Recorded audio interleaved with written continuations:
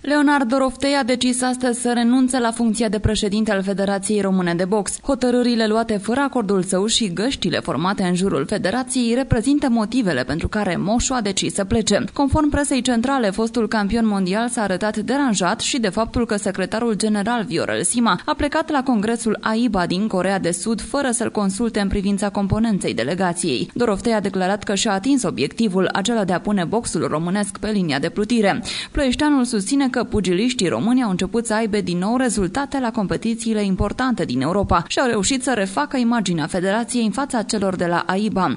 El afirmă că doi ani au fost de ajuns și este cazul să vină un manager mai bun care să preia ștafeta. Și Doroftei, la rândul său, a preluat-o de la Rudel Obreja în noiembrie 2012. Peste două săptămâni, Leonard ar fi împlinit doi ani ca șef al Federației Române de Box, însă luptele interne din pugilismul autohton l-au determinat să coboare din ring.